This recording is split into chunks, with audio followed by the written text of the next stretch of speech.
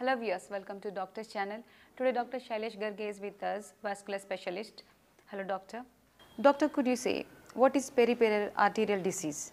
So peripheral arterial disease uh, is the uh, the blockage of the blood vessels, especially of the lower leg, legs. So this can be the blockage can be at the at the groin level, the, the blockage can be at the thigh level or the uh, or the knee or the below the knee levels. And uh, this blockage can be because of multiple reasons, but the most common cause is the is the atherosclerosis, that is deposition of the cholesterol, calcium, all those things in the blood tubes. Similar to how the you, you will get the blockage in your heart vessels. So similarly, you can get the blockage in the lower legs, and this can cause uh, the reduced blood supply to the legs, slowly the discoloration, you are not able to walk for a longer distance because of the reduced blood supply. So pain will be there and so, some patients get wound or even a minor injury won't heal later. So these are the symptoms because of the re reduced blood supply you will get into the uh, peripheral arterial disease. What could be the complications, doctor?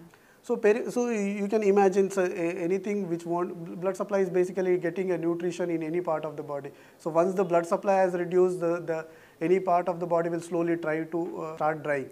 So these are the early symptoms like pain, uh, you are not able to walk for a longer distance, the skin becomes uh, dry, thick, and uh, discoloration will be there, and wound will start healing, and slowly the co continuous pain that is called rest pain, and um, and slowly uh, the blackening or what we call it as a gangrene. We, these are the things will develop. Doctor, what is the treatment option for it? So the, the, the, treatment options uh, are mainly uh, we have to increase the blood supply. So in the early stages we give the blood thinners. These are the antiplatelets and to reduce the cholesterol levels. So these are the things we'll re, uh, require. But before that we'll check how severe the disease is.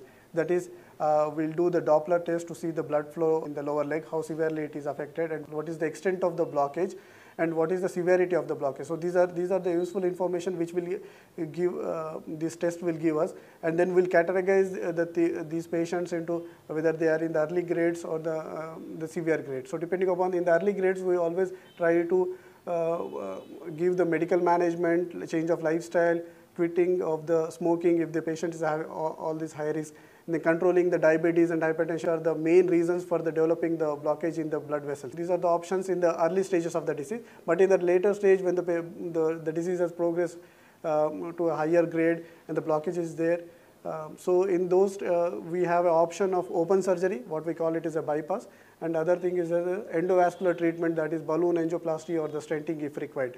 So these are the two options and um, bypass is the one we, we can do only for the major uh, blood pipes, blood tubes uh, and endovascular we can do for the even the smaller pipes. So um, in the endovascular intervention we'll get into the block vessel, we cross the block and we open up the similar to the what we get do the angioplasty for the heart. So that way we, we are opening up the blocked vessel, we are increasing the blood flow and uh, patient will get much relief in the symptoms like pain, his pain will subside and he'll be able to walk for longer. And more important is that the, uh, the part won't get uh, died, the gangrene would set up and we are saving the limb from the getting cut or the amputated uh, leg. So these treatment options are available uh, which are very useful uh, and these in the recent years with the advance in the technology, with the uh, advance in the interventions, we are able to uh, treat the difficult and complex and uh, severe diseases. So which will save the, uh, the limb and um, the, you can imagine the, the trauma, the social trauma patient can have once you lose your limb because of the disease which you could have saved at some point. Doctor, how can we prevent it? So I said the main reasons for the blockage of the vessels are the diabetes, hypertension, smoking and high cholesterol and sedentary lifestyle, obesity. There are multiple factors, but these are the main what we see in the Indian population. So um, you have to strictly control your diabetes, hypertension with the medication. Uh, even you have to quit completely the smoking um, and reduce weight, obesity, regular exercises, yoga. These are the, uh, the things which will uh, help you to uh, prevent uh, development of the disease or you can even control the disease and even prevent the rapid progression of the disease to the severe grades. But at the same time, uh, but it's very important to find out what stage you are and start the uh, uh, treatment accordingly like maybe antiplatelets and uh, anti-cholesterol medications if, you are, if your blood levels are showing higher cholesterol and those. Thanks for the explanation, doctor. Thank you.